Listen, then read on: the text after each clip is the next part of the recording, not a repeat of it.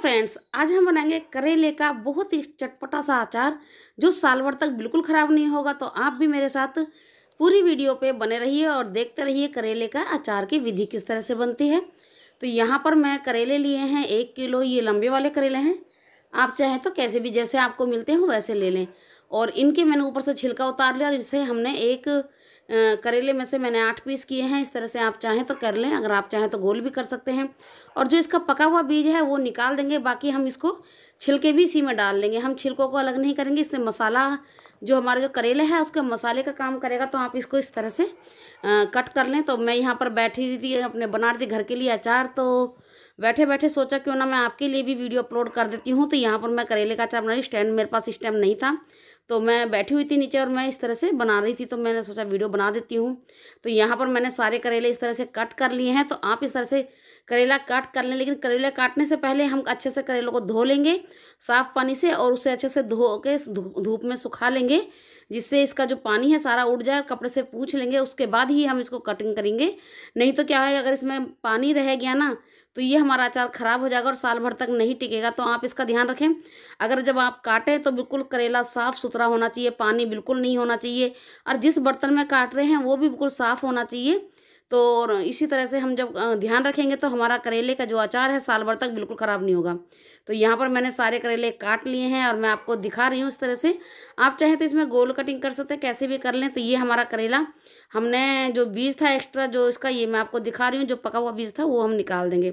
अब यहाँ पर मैं दो से तीन चम्मच अच्छे से डाल दूँगी नमक और इनको रख दूँगी ढककर एक से दो घंटे के लिए। तो यहाँ पर मैंने एक घंटे के लिए इसको कपड़े से ढककर छोड़ दिया था दो घंटे के लिए। अब इसका जो पानी है निचड़ गया। आप चाहें तो ओवरनाइट कर सकते हैं। यहाँ पर सॉरी मैंने पूरा ओवरनाइट इसको रखा था ढक के, पानी सोखने के लिए। तो ये अच्छे से हमारा, इसमें जो पूरी रात इसमें नमक के पानी में ये रहा और मैं सवेरे का सीन दिखा रही हूँ।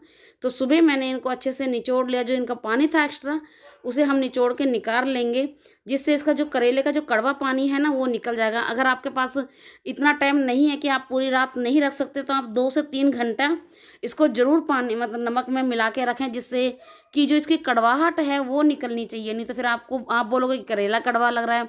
तो जी, करेला तो हमेशा कड़वा ही रहता है, लेकिन थोड़ा सा ध्यान देंगे तो जो हमारा करवे, कड़वा करेला है, वो बिल्कुल नहीं कड़वा लगेगा। तो ये देखिए, अच्छे से मैंने निचोड़ लिया और इसे आप, चाहे आप कोई बड़ा बर्तन ले लें, उसमें सुखा दें या फिर किसी कपड़े पे सुखा दें। तो यहाँ पर मैंने टावल में सुखा रही हूँ तो हम यहाँ पर अगर धूप ज़्यादा तेज़ है तो आधा पौना घंटा ही इसे धूप में रखेंगे।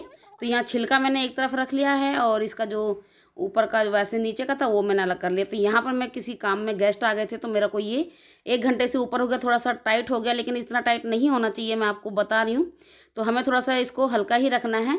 तो फिर भी मैं इसका अचार डालूँगी, क्योंकि ये भी काफ़ी थोड़ा टाइम लगेगा इसको गलने में, लेकिन ये भी काफ़ी दिन तक चलेगा। तो मैंने यहाँ पर हल्दी डाली, एक से डेढ़ चम्मच तो और इसके अंदर डालूँगी मैं दो चम्मच लाल मिर्ची पाउडर। और थोड़ा सा हम इसमें डालेंगे अमचूर पाउडर, क्योंकि जो इसका करेले का जो थोड़ा सा खट्टापन है ना, वो इसी से होगा। यहाँ पर मैंने राई भी डाली है, इसमें दो चम्मच भर के राई डाल दी है। तो सारे मसाले मैं मिला रही हूँ, सौंप भी मैं डाल दूँगी, दो से तीन चम्मच सौंप डाल दूँगी इसके अंदर। तो यहाँ पर हमारे सारे मिला, मसा, सॉरी, मसाले डाल देंगे।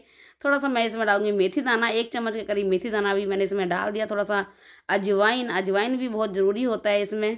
तो इस थोड़ा सा मैं अजवाइन डालूँगी हाफ़ टी स्पून। और थोड़ा सा मैं डालूँगी वन टीस्पून कलौंजी। ये सारा सामान इसमें डाल दूँगी, उसके बाद मैंने इसमें डाला है काला नमक।